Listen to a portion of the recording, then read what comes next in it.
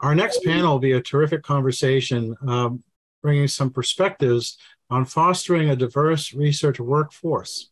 And we're delighted to have a, a, panel that joins us today that includes Dr. Marie Bernard, who is the Chief uh, Officer for Scientific Workforce Diversity at NIH, and Elvie Gee, who is the Executive Director for Global Inclusion and Diversity at Bristol Myers Squibb. Uh, Dr. Jasmine George, a colleague of mine, who is the Research America's Dr. Louis Sullivan Science Policy Fellow.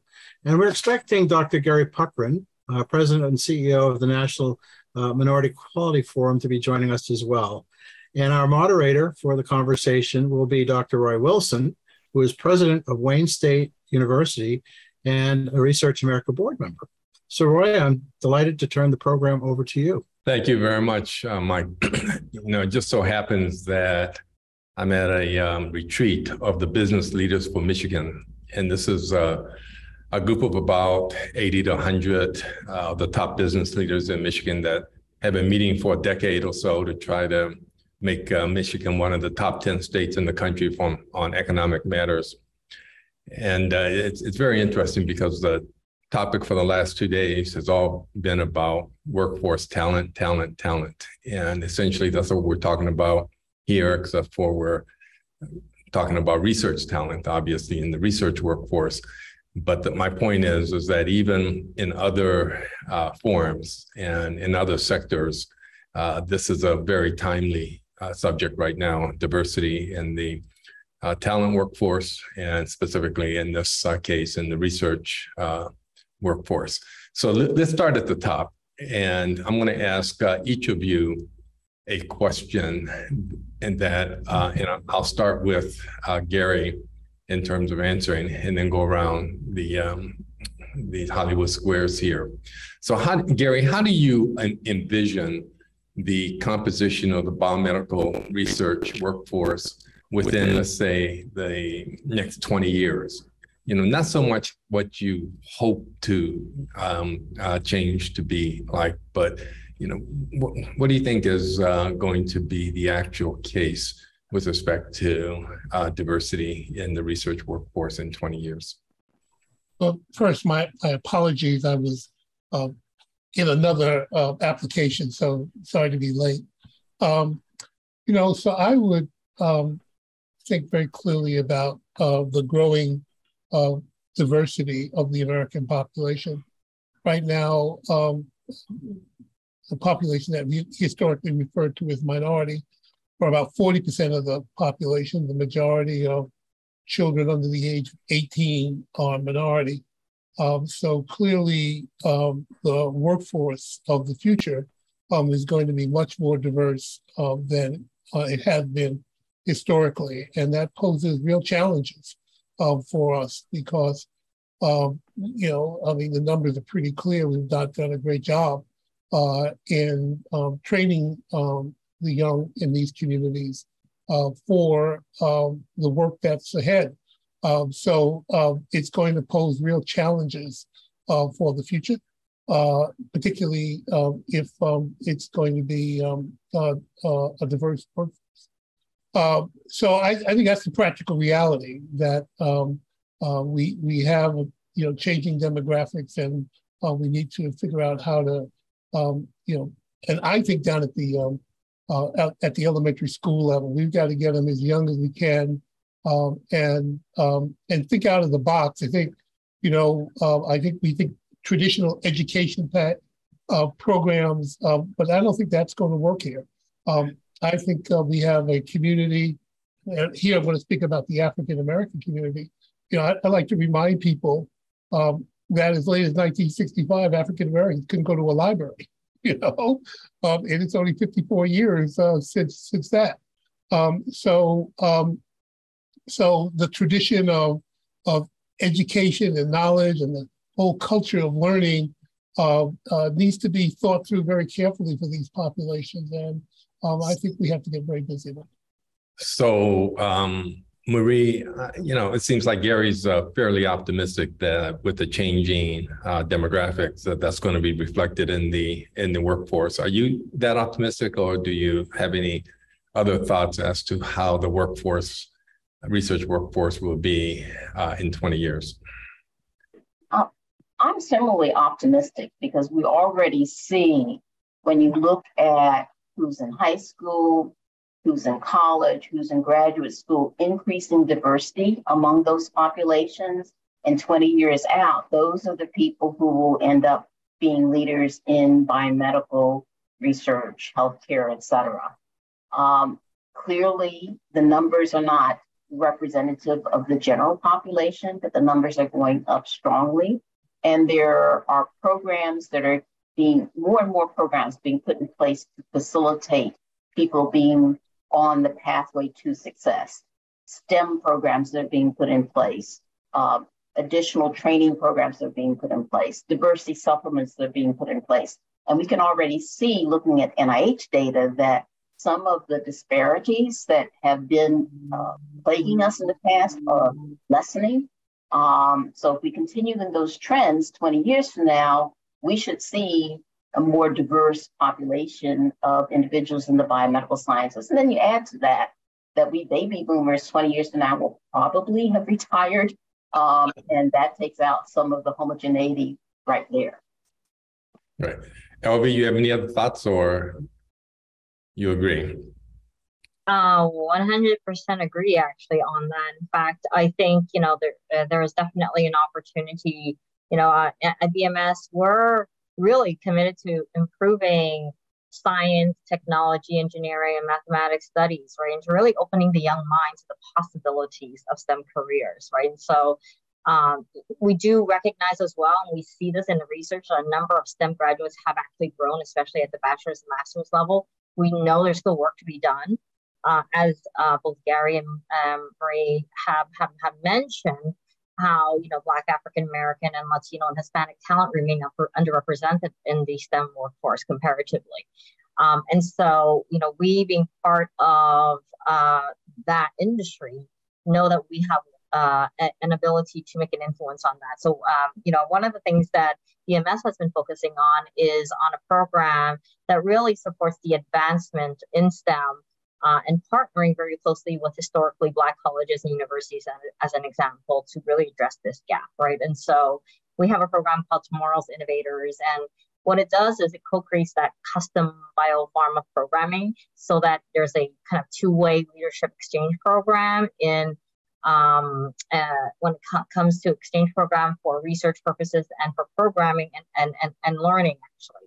Um, and that really leads to an increase in talent recruitment for HBCUs, um, also on making the connectivity with um, executive level Black talent with our students of the future, as an example. Um, and then uh, another one, when we talk about, Gary mentioned about getting earlier, right, in, in, into the pipeline. I, I, I, would totally agree with that. Uh, one of our um, uh, people business resource groups uh, is really partnering, and it's our Pan Asian one actually, is partnering with um, New City Kids.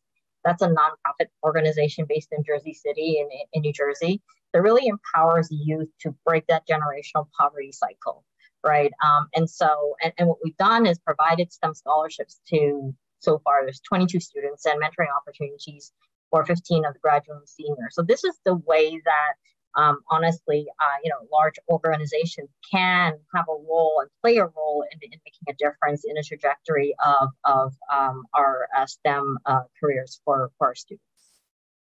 Thank you, Elvie. So, Jasmine, um, you're obviously um, more junior in your career or a, a, different stage of your career than most of the rest of us uh, on this panel. Uh, from your perspective, uh, do you agree with these uh, fairly optimistic uh, scenarios that's being painted by um, uh, the more experienced colleagues here, or do you feel that um, progress is probably not going to be as optim- as uh, as um, forthcoming as it's been painted? Um, I actually do agree um, with Elvie um, Marie and Jerry in the sense that we are growing, and I've personally seen, you know, growth in the knowledge and um, participation and engagement of students who are my age and below um, in STEM. But I do think that there needs a lot of work to be done in supporting these students, supporting the retention of these students, um, and especially at the K through 12 er, uh, area. Um, I know from my own experience and just uh, my experience going through uh, the educational, um, my, with my educational background, um, that it's very rare um, and I'm not sure if you know I'm incorrect in saying this, but it is very rare, and it was very rare for me to find opportunities um, in the K through 12 um, space. Uh, I relied a lot on uh, programs and um, things that were aimed at college students in order to get my perspective into research, and I feel that that could easily be a way to, or to start and to tackle, you know, the uh, diversity numbers that we have right now. Um, so yes. Oh, thank you very much.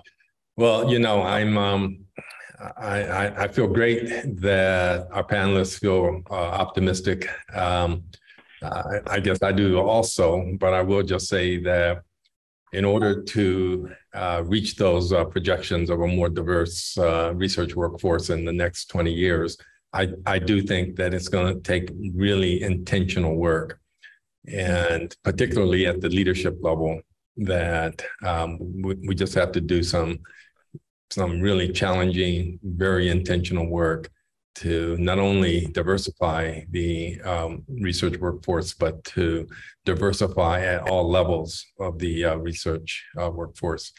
So let me uh, move on then, and and Gary, I'm I'm going to um, ask you most of the questions uh, over the next um, 20 minutes or so, because I know you have a, a hard stop at three o'clock and the rest of us can continue our discussion. So this is to you. Um, yeah, you've been working on improving equity throughout your career.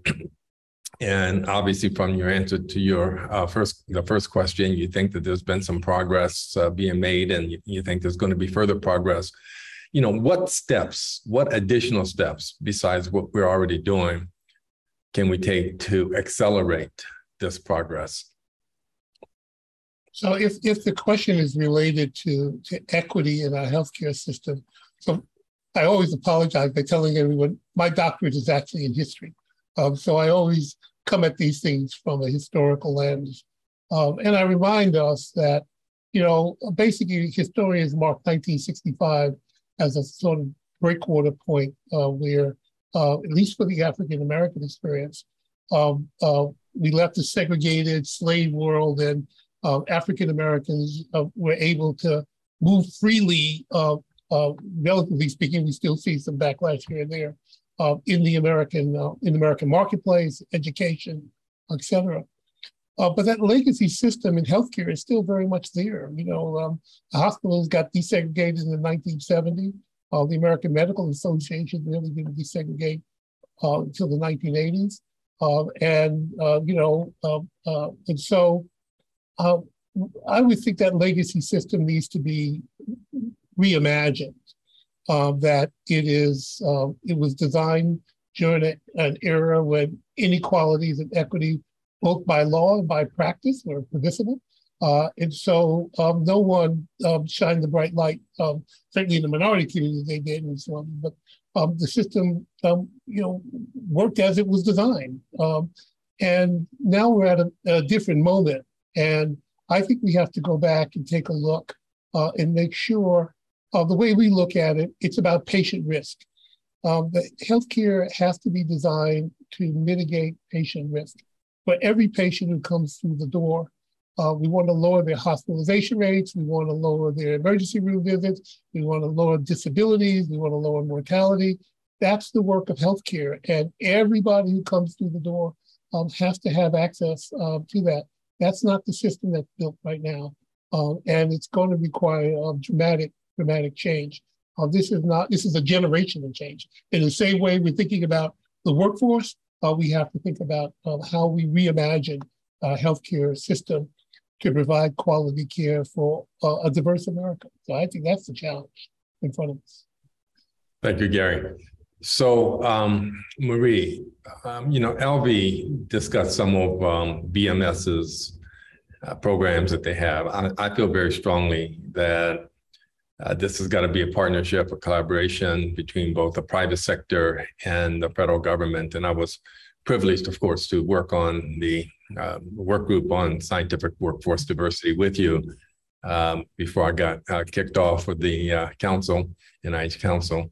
Um, but one of the things that that happened during my time there, which um, uh, I, I, think has been really significant, and I want to make sure everybody knows about it, is the Unite initiative. Uh, can you tell us about the Unite initiative um, and what other initiatives are there to increase workforce diversity from the NIH perspective, and how are you evaluating the progress against goals? Thank you for the question. Yes, the NIH Unite initiative is the big effort at NIH that's brought together all of the institutes and centers. We have 27 of them um, to really focus hard on enhancing diversity and equity. It was generated by what we saw at the start of the pandemic with disproportionate morbidity and mortality among communities of color.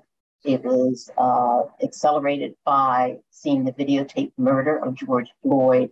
And it led to us saying that we have to do something. Um, there are all of these issues that make it difficult for populations like African Americans, Black, Hispanics, Latinos, American Indians, Alaska Natives to move forward, and they're kind of baked into the system.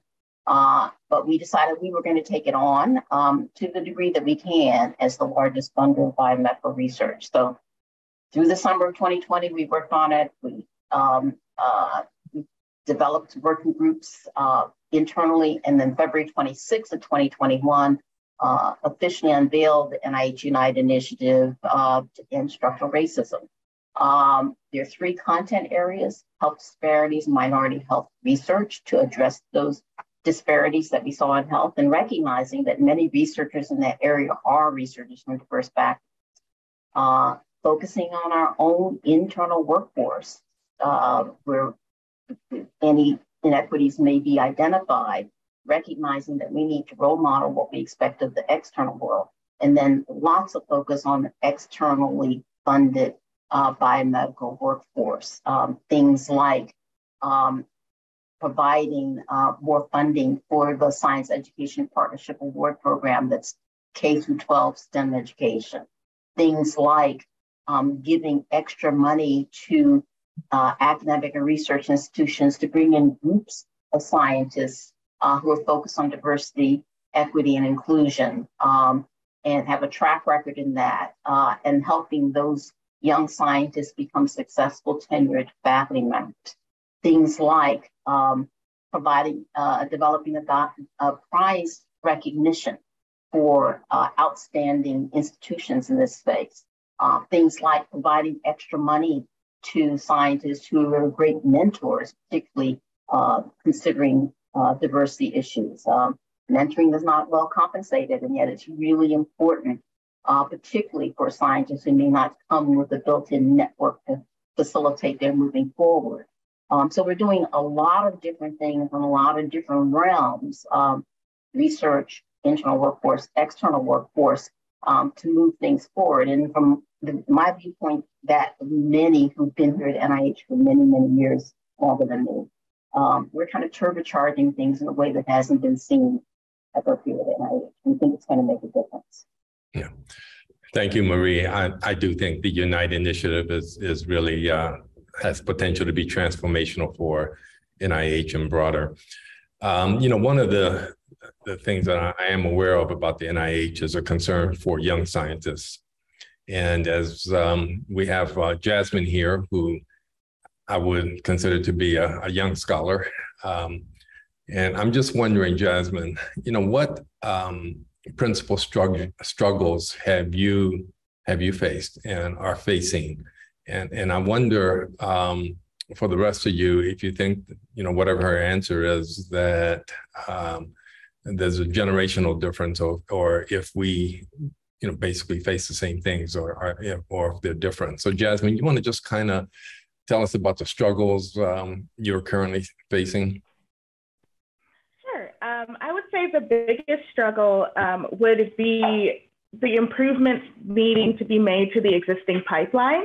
Um, as I've mentioned before, um, um, access to programming, especially um, that of STEM programming and ones that will get you into research are very rare at the K through 12 area.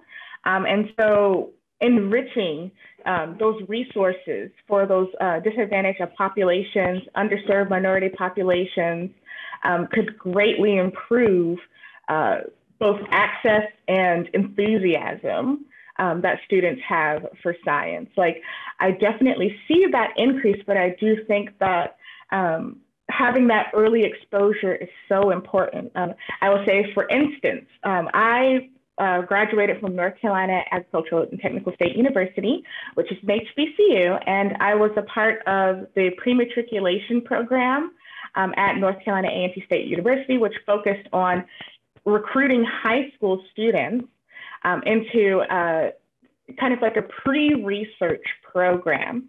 Um, and unfortunately, that program does not exist anymore.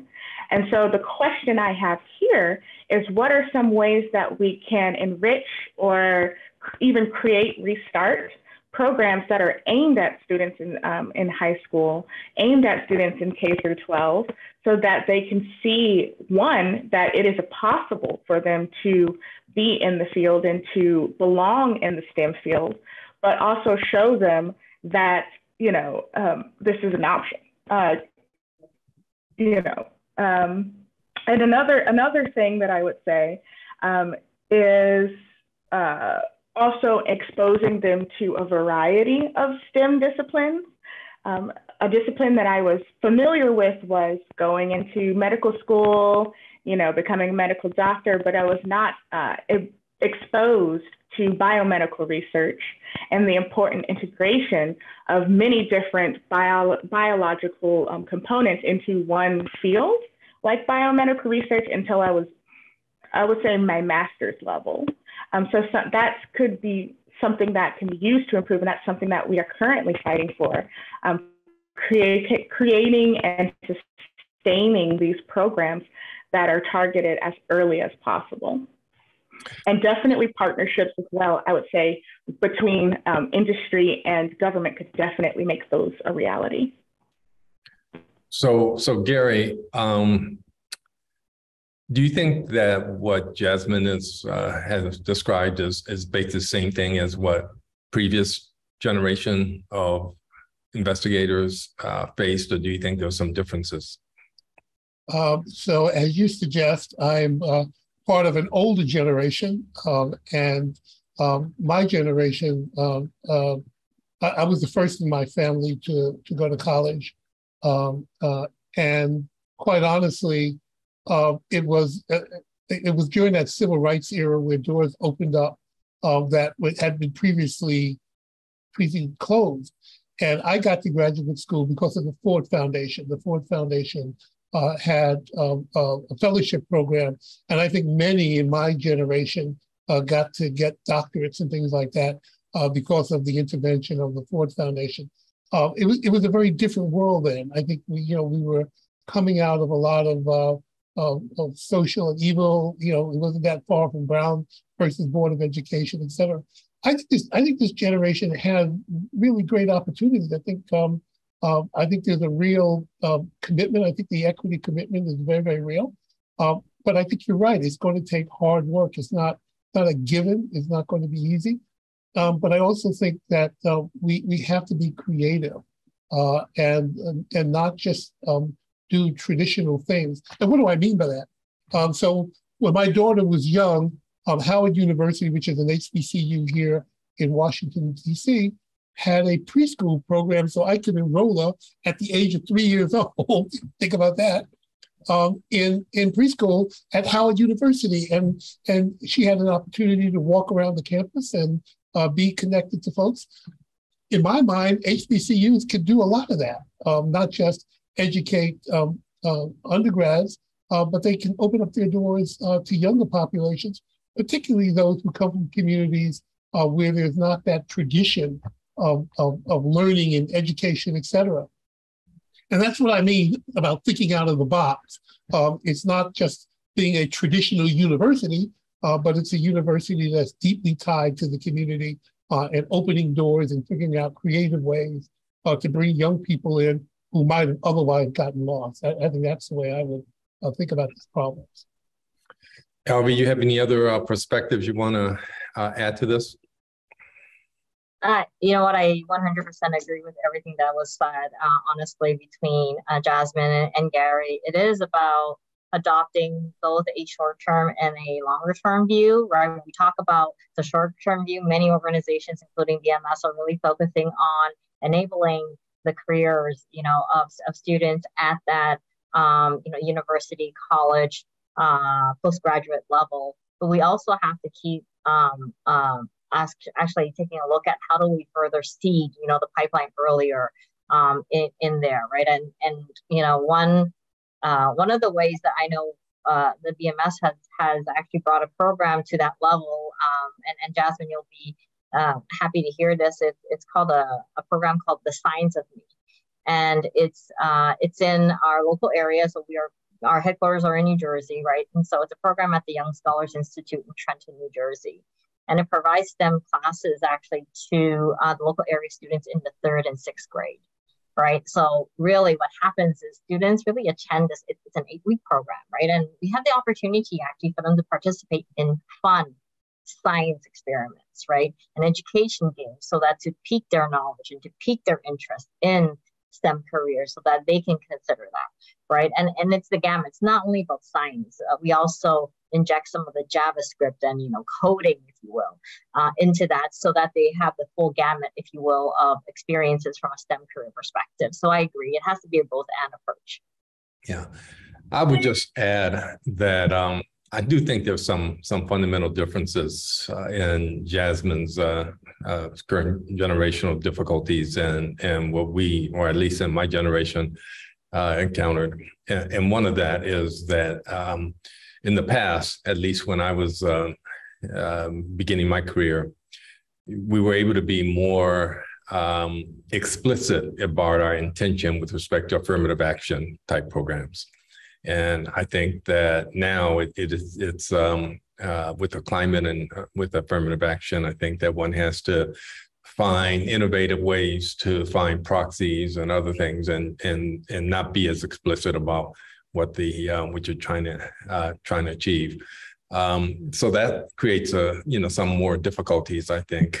Um, so I think there are some some other quantitative uh, and qualitative differences, but this is a, a great uh, discussion. You know, one of the things that you know, since I mentioned affirmative action, uh, I'd be interested in both uh, Marie and Alvy. What challenges are you encountering in improving our workforce diversity? Marie, you know, you approach it from a, a federal um, a public standpoint and and Alvy from um, uh, a um, more private standpoint. And as I mentioned earlier, I, I, think there has to be collaboration between the two, and has to be a partnership between the two. And so I'd be interested in seeing, uh, hearing about, you know, what challenges from your perspective that you are, um, uh, you know, facing in improving workforce diversity. Um, so Marie, let's start with you. Yeah, I, am happy to address that because, and, and I just want to reinforce the prior discussion about starting at the K through 12 level. We have good data that demonstrates that for many young people, science identity is formed by middle school. So those efforts to make outreach early are just invaluable. And what's being done by pharma, what's being done voluntarily by uh, academic organizations, what, uh, what's being done, NSF funding NIH funding, whatever it takes. When you look at the people in the K through 12 age categories, there's quite a bit of diversity there. So you don't even necessarily have to be saying you're doing a diversity program because there's quite a bit of diversity there. Relative to very specifically targeting diverse populations, yes, uh, by law, we cannot take into consideration demographic characteristics when we develop programs.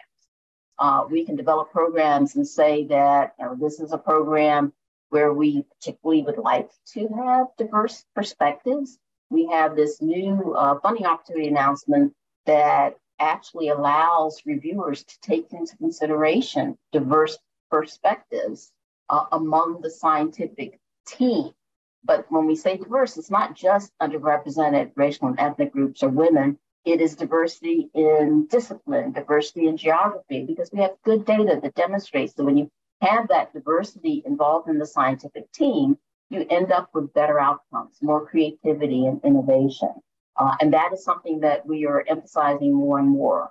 Uh, we do have a notice of special interest in diversity that spells out what groups are seen to be underrepresented in science based upon National Science Foundation data, uh, based upon um, other sorts of economic data. So it's uh, women, individuals from underrepresented racial and ethnic groups, uh, individuals with disabilities, individuals who come from a disadvantaged background, and others. Um, those are just some examples when one's applying for a diversity supplement from NIH. But the issue of trying to bring together the diverse perspectives that are necessary for creativity and innovation has been a means of uh, allowing us to focus on diversity in lots of different settings. So, uh, Elvie, I'm going to ask you to just hold for just one second because I want to get in a last question with Gary because it's almost three. And, and Gary, just in a, you know two sentences, what does success in achieving a diverse biomedical workforce look like for you? You know, I, I think for me, it, it means that um, every American has an opportunity to pursue a career uh, in biomedicine. Uh, and and, um, and, and the society is providing a helping hand in creating those opportunities. We're not guaranteeing anything to anyone, uh, but we're making sure that we're not shutting the door on someone prematurely uh, because we set up a system uh, that doesn't recognize and doesn't support uh, diversity. So that, that would be that would be success to me.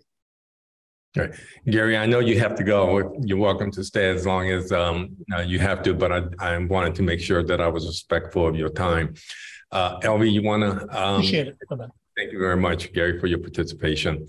Uh, El- so, Elvie, back to you on uh, the question I asked about challenges that um, that you're uh, facing in improving the uh, workforce diversity. Uh, absolutely, and and I think it's not going to be different across um, any of our peer companies or actually uh, companies in other industries as well.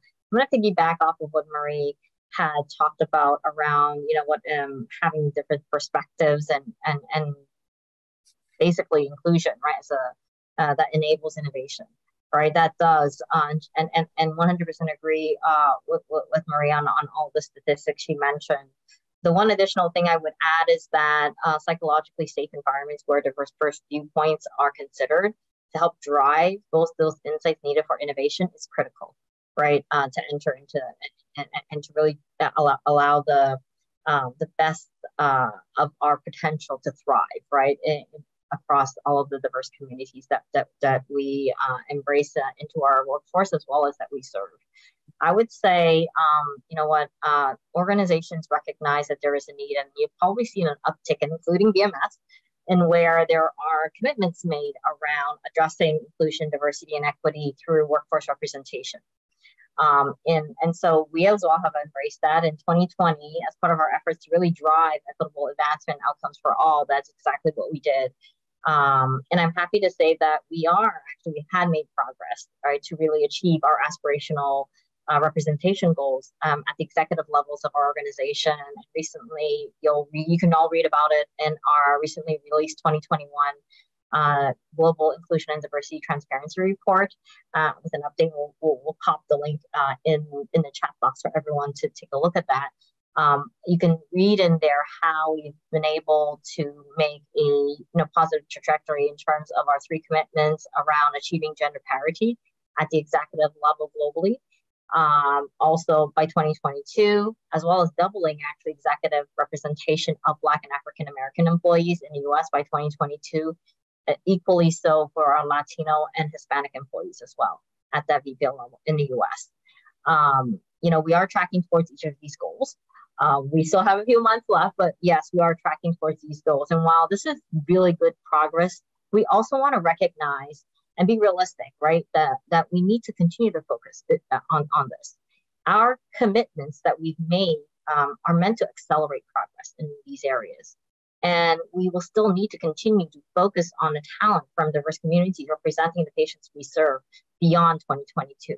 It's not a short term play. We have to keep at it, right? Um, and, and, and so that's that's uh, what I would add actually to your question, Roy. Right. So, Jasmine, I'm going to ask you the next question, but before I do, I'm going to put um, Marie on the spot um, and follow up to her last uh, uh, answer, and that had to do, Marie, with um, you know your comment about having to start off younger in K through 12, and and certainly you know others have mentioned the same thing, and I totally agree. Um, but but Maria, as, as, you know, I, I've been on a lot of um, NIH committees and task force dealing with diversity, and every time we bring that topic up, the response is always, "That's not NIH's job." We have we just deal with you know the the post uh, K through 12, uh, particularly in the more more in the postgraduate and uh, realm, um, which you know has been a little frustrating sometimes. So the question is, should NIH change its stance on K through 12 if it really wants to make an impact on uh, workforce diversity? Yes, we do have a bit of a um, uh, uh, identity crisis when it comes to that because um, Congress uh, has sometimes brought, taken us to task uh, about K through 12 programs. That really the remit of NIH? Isn't that really in the remit of the National Science Foundation. And yet we have uh, institutes within NIH, such as the National Institute of General Medical Sciences, that legislatively has the obligation for this Science Education Partnership Award, which is a K 12 STEM program. So under Unite, we have enhanced that program. We now have 17 institutes and centers that have signed on with NIGMS to be involved with that to markedly expand what's going on in those areas. Uh, the National Heart and Lung Blood Institute also has a legislative mandate to do that sort of outreach. But yes, the reality is that the majority of our focus is at the graduate level and beyond. Um, we think that partnering with National Science Foundation, pharma, and others in that focus will bring more uh, trainees to that graduate level, where which is really the sweet spot for us. And we are adding lots of additional programs to smooth out that pathway uh, forward for those trainees. Uh, there's a, a, diversity, what they're calling diversity R01s with several institutes and centers um, trying to encourage uh, a variety of scientists, particularly scientists from uh, diverse from underrepresented backgrounds, apply for R1 funding from NIH. They're, again, the diversity supplements, a great way to get a career started. And we're trying to encourage people to take advantage of them. Less than 5% of R1s have a diversity supplement associated with them. And yet, when you stand back and look at productivity of diversity supplement recipients, it's a great mechanism. If you want to hear more, we're doing a seminar on that November 17th in our Scientific Workforce Diversity Seminar Series. So, uh, yes, the reality is other right. entities have more of a space, have, more activity in that area. Thank you, Marie. So, Jasmine, um, to you. So, as uh, early uh, career researcher from um, traditionally underrepresented um, background, um, what career advice do you wish you had received, and what advice would you give to those just starting off on their higher education path?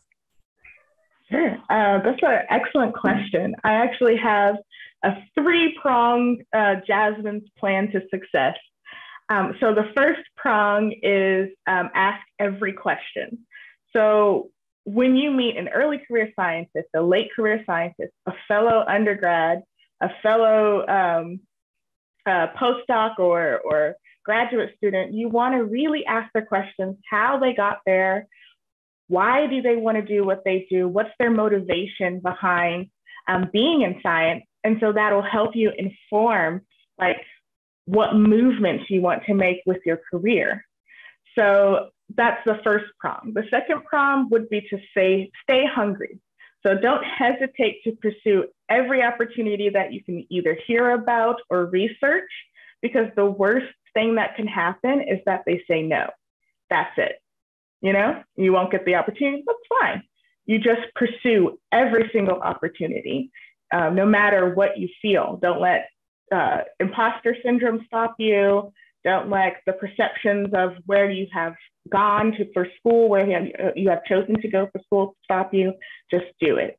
And my third part is you belong, right? So tell yourself at every step of the way, especially if you are in a field where you are the first or the only person there of, of, of your uh, kind, uh, to, to, to know that you belong there and that you are opening doors for others. So somebody will see you and say, Oh, I, I recognize this person as being similar to me. And now I believe that I can be in this field. So knowing that you belong, asking every question, and staying hungry are very key um, things that can take you from any uh, part of your career. I love it. Thank you very much. Uh, uh, excellent answer.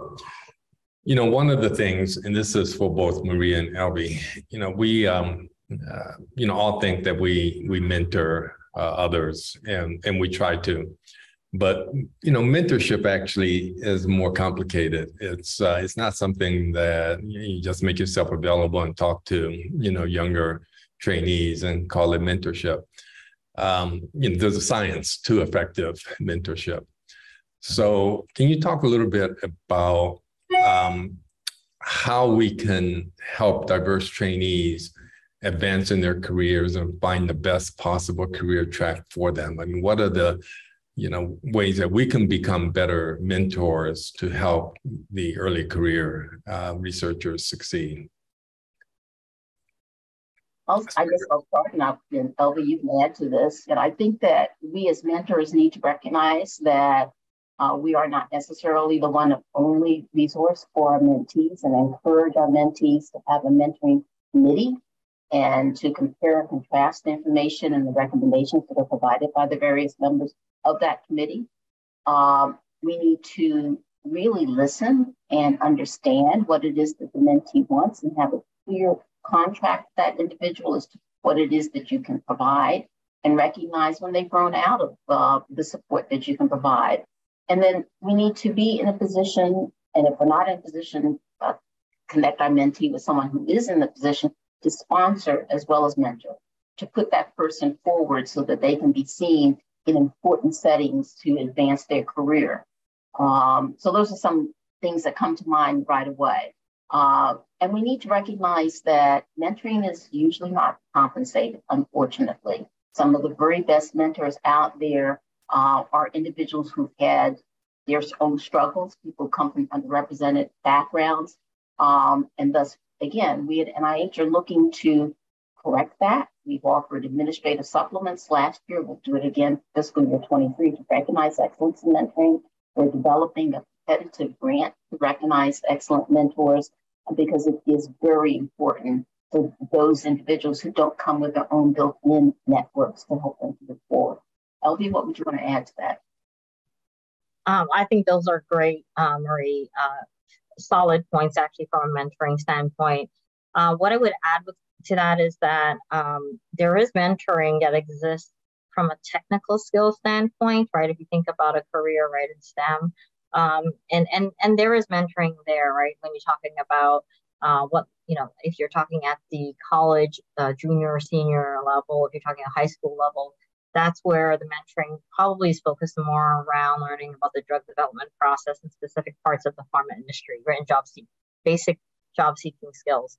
But as you get closer and closer to getting to uh, seeking out uh, your um, your next uh, career, if you will, um, I think you know one of the things that, and from a private sector standpoint, that um, is the fundamental content of, of, of mentoring happens is around navigating the organizations, right? When you're working for uh, the uh, pharmaceutical bio uh, biotech industry, right?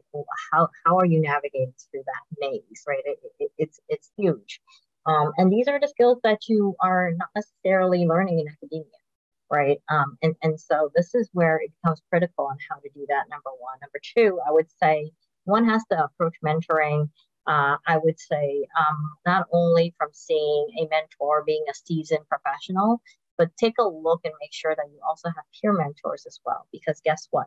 Those who have been at your level have actually also walked your path and may have learnings to share, such as Jasmine just did, right? And so uh, reach out to to to your peer level I think the last thing, the third thing I would say around mentoring is it's reciprocal. So it's it's not a one-way exchange, right? And so make sure that while you're asking for advice and and and, and feedback and input from your mentor, that you find a way to give back as well, because that will go a very long way to Marie's point on how you can cultivate that mentoring relationship to go from being a mentoring to a sponsorship. When you're sponsored, right, what happens is um, people are advocating for you when you're not in the room that's what sponsorship and that's what good looks like. So be, I want to pass so, it to Roy. yeah. So we have one minute left, and I'm going to ask all of you the question I asked uh, Gary before he left, and we'll start with uh, Jasmine, then Elvie, then Marie. So, what will um, success and in achieving a diverse biomedical workforce look like for you? And and please, in less than 45 seconds each. Okay. Um, I will say quickly that success for me will look like transparency. So knowing who is there and how we can improve. Um, it would look like collaboration. So seeing those collaborations between um, government agencies, industry, um, et cetera. And then finally, persistence. This is going to be a conversation that we are going to have every single day forever. So having that persistent, having DEI, DEIA at the front of our, our, our goals, missions, et cetera, at all times will spell success to me. Thank you, Jasmine. Thank you very much for being a part of this. You added so much. Um, Elvie. Um, I would say that was well said. The only thing I would say is uh, listen, uh, what good will look like is if um, all of industry and not only uh, healthcare industry, right, all of industry in the STEM fields come together to ensure that we are enabling everyone to thrive and bring their best self forward. That's that's what good will look like for me. Thank you. So Marie, take us home. Of course, I have to bring the NIH perspective. And um, success would be when we get to the point that you cannot predict based upon a person's demographic characteristics, their likelihood of their success in being an NIH funded investigator. And you cannot predict based upon their uh, demographic characteristics what position they have in the professoriate. Well, we're at our appointed time for concluding. I want to uh, thank the uh, panelists. Um, you were all great. I want to thank everyone who's uh, listening